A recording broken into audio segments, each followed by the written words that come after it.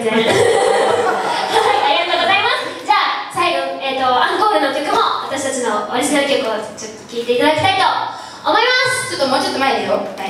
それでは聴いてください「はしな